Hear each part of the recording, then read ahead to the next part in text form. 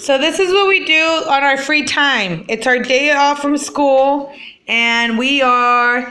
They see us peeling. They hating.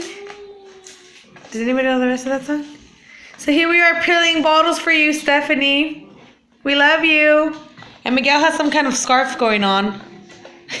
what the hell is that? It's the dish towel. He's such a dork. So here we are, peeling bottles.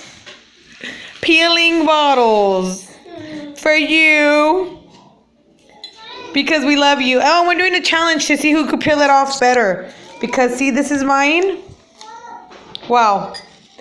This is my first attempt. This is mine. Wait, this is our first times we did it. They came out awful. These seals came out pretty good though. I wish the whole thing would come out like this. But anyways, and then we we've been getting better and better and better and better. So ah, we have three peeled, uh, eight of them made, and millions of them to go. We love you. Say cheese. Miguelito, say cheese. You're too concentrated in your bottle.